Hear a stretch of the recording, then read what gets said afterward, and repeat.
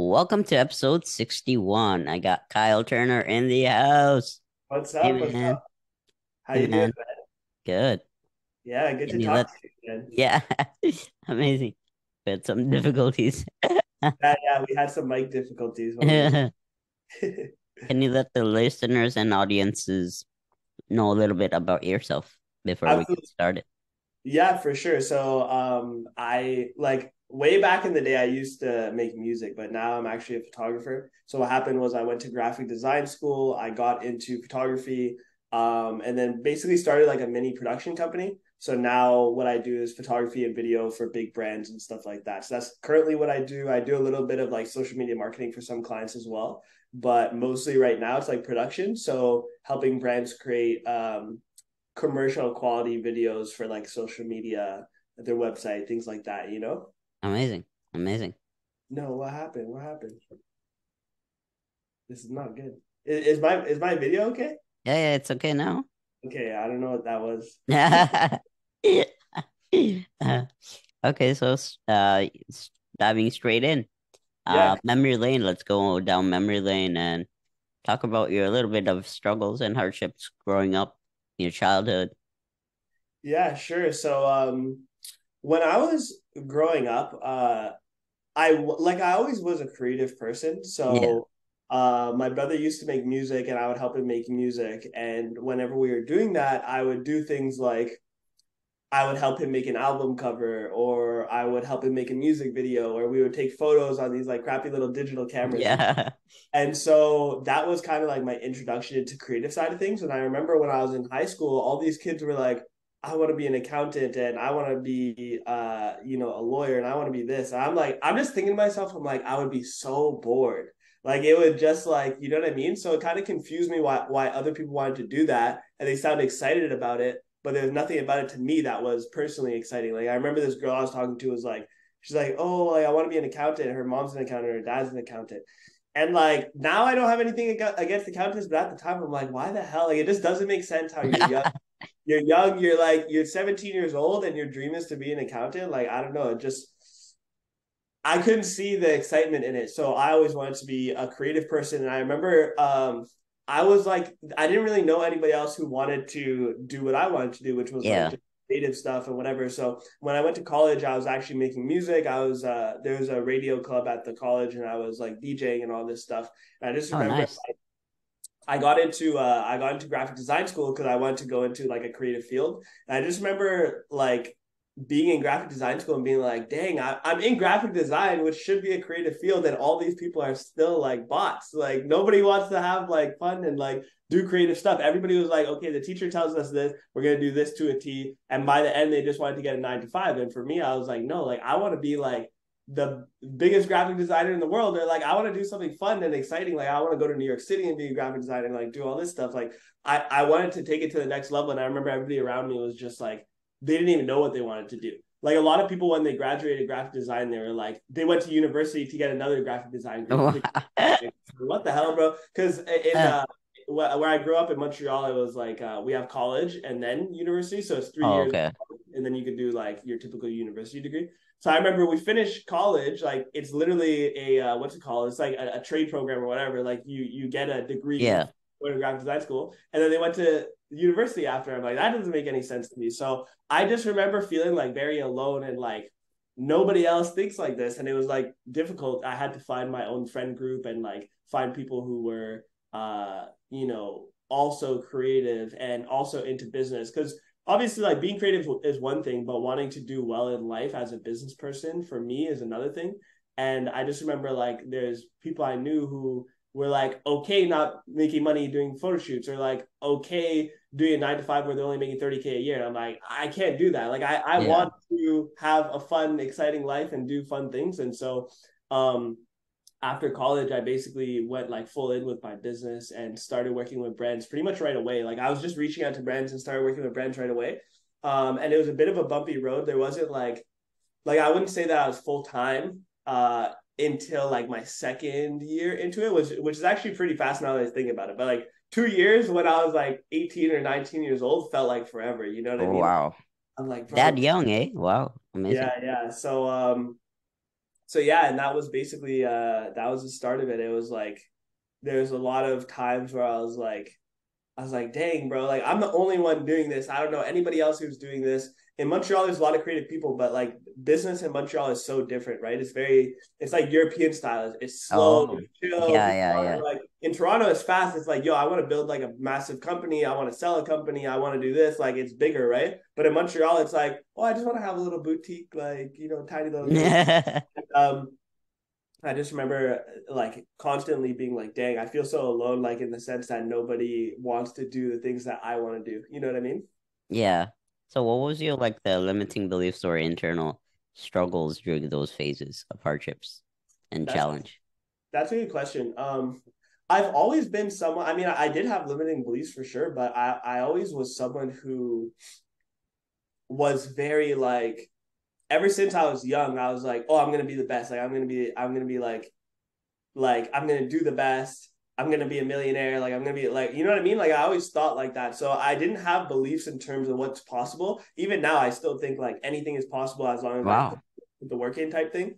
Um, but at the time, I would say that I like one of the limiting limiting beliefs I had was that oh I remember I was telling one of my uh, one of my close friends, he was like a mentor to me because he was a little bit older, and he was a client of mine at the same time. And I remember just talking to him, and I'm like, I can't wait till like clients pay me like a thousand dollars for a photo shoot. Because at the time I was charging like a hundred, two hundred, mm. and um, and I was like, oh, I can't wait to like charge charge a thousand dollars for a photo shoot for like a personal photo shoot, not even yeah, of course, yeah. And he's like, yeah, that's possible, bro. Like, why think like he's like in New York City, people charge three thousand dollars for like a branding photo shoot. And I'm like, I'm like, dang, bro. And literally last year, I charged someone three thousand dollars for a photo shoot, for a branding photo shoot that um, they wanted to do, and it was like a full circle moment where I was like, oh, because at the time I didn't know, right? I didn't know like, how am I gonna move out of my out of my family's place? How am I gonna move to Toronto? Rent is crazy in Toronto. How am I gonna um, you know, charge clients this amount. I had it wasn't necessarily limiting beliefs, but like I just didn't know how. I was like, how the heck am I gonna do this? yeah. Wow. Okay. So from the child, from young, you didn't really have those kind of, oh, I can't do this. I can't do this. It was always. Yeah, it was. I've always been like, because when I was really young, I used to listen to like 50 Cent and stuff like that. And my brother and I would listen to him and we were just like, oh, like we could be like him. Like we're young. We have so much time to like get to that level type thing, you know? So I just remember listening to that kind of music. My brother would make that kind of music. And so I was making beats and DJing and all this stuff to yeah. And um, I just remember thinking in my head, I'm like, yeah, it's 100% possible. Like, my, my mother was also very like, you can do it, you can do it. I feel like a lot of people's parents are like that. Not all of them, obviously, but like a lot of people will be like, you can do what you put your mind to. Um, but so I don't think that that was like the only thing that made me think that way. Cause I know a lot of friends who like their parents say like, oh, you can do anything you put your mind to, but like they don't actually go out and try and do it. So yeah. I, I feel like I was just I think I'm just very excited and like creative and and like I'm I'm an explorer at heart in the sense that like I remember I was in high school and I was just like I don't want to stay in Montreal. I don't want to stay in Canada. Like I want to go see the world and like do all this stuff, you know what I mean? So I remember like I just think it's it like my mindset is more so I want to do everything that I can in life or at least try. Like I want to go and like you know do all these like exciting things and like create funny stories and interesting stories and like so when yeah. happen to my life i'm like i'm like oh this just adds on to the story. Like this is a new yeah this is a journey. friends and i'll be like oh like this thing just happened and like you know like whenever something interesting happens or like unique like that's the stuff that i like you know? Yeah it just goes to show like your imagination is your limit so you have a high like it, it just shows you like you're living proof I can see. yeah, literally, literally. Yeah, man. I, I think I, I think like to me, I believe that um I think a lot of people could be it doesn't even have to be a lot, right? But like a little yeah. bit more um a little bit more creative when it comes to what they want to do. You know what I mean? Like for example, I know a lot of people would be like my mother, for example, I would ask her, I'd be like, if you could live anywhere in the world, where would you live? And she's like, Oh, I would love to live in like this part of Montreal. And I'm like, I don't know if she understood the question properly or like if she likes that area. Cause like I I know I've I've been to more countries than her, but she's also traveled like a little bit. Like she she's from she's originally from England and she's been to like um she's been to like South America and like the Caribbean and stuff like that and the US. So I know she's like traveled a little bit. So I'm like, I'm like, how could she want to live in Montreal? And it's not that, that there's anything bad about Montreal, but like, if you could live anywhere, you're telling yeah, me, yeah. there? So that was like interesting to me. So I do feel like to a certain extent, people. It doesn't even have to be a lot. I just feel like people could be like, you know what, um, yeah, I might have a job or something like that, but I want to start charity or, um, you know, I want to start this small business or like I want to uh, start a podcast. Like anything that's just like a little Yeah. than normal. I think that that makes the world a better place because then we have like fun things in life and people could share and experience new things and stuff like that. You know what I mean? Yeah, definitely. That's the, my aim, and then just ex sharing experiences and having a conversation and love seeing where where it goes.